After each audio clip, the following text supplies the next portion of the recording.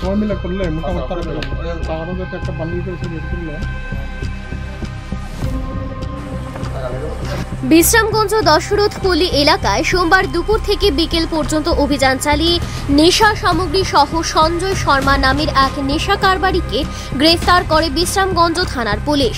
নেশা কারবারি সঞ্জয় শর্মার পিতার নাম বিজয় শর্মা। তার বাড়ি থেকে একশো আঠেরোটি অ্যাসকোফ নেশা জাতীয় সিরাপ, ছয়শো নেশা জাতীয় এসপি ট্যাবলেট নগদ চুরানব্বই হাজার একশো পঞ্চাশ টাকা উদ্ধার করেন পুলিশ। অভিযুক্তের বিরুদ্ধে পূর্বেও বিশ্রামগঞ্জ থানায় এনডিপিএস মামলা রয়েছে।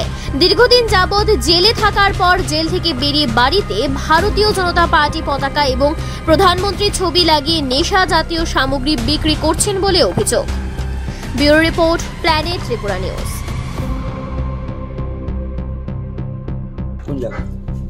আজকে দুপুর নাগাদ আমরা একটা গোপন খবর পাই যে বিশ্রামগঞ্জ থানার অন্তর্গত বসরপল্লী সঞ্জয় শর্মার বাড়িতে কিছু অবৈধ কফ সিরাপ এবং ট্যাবলেট রাখা আছে।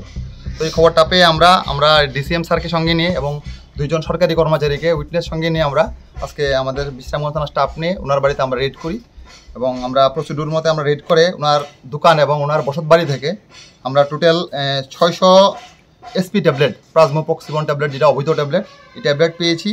আমরা ওনার বাড়ি থেকে টোটাল একশো আঠারোটা স্কপ কফ সিরাপ ওটা ওনার ওনার বাড়ি এবং দোকান মিলে আমরা উদ্ধার করেছি।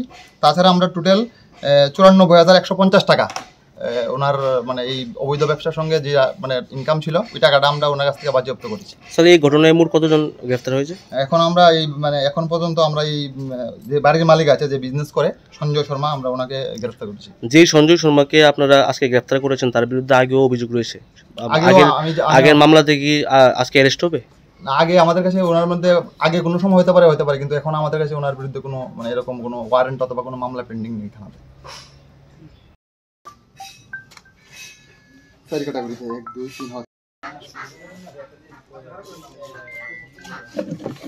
হইছে নি মিটন হইছে নি